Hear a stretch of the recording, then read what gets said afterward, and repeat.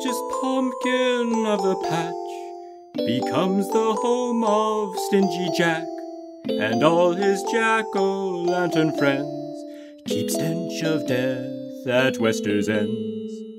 Yet children young and old beware, for naughty tots will earn his glare, and with the jacks forever stay, as jacks themselves to laugh and play.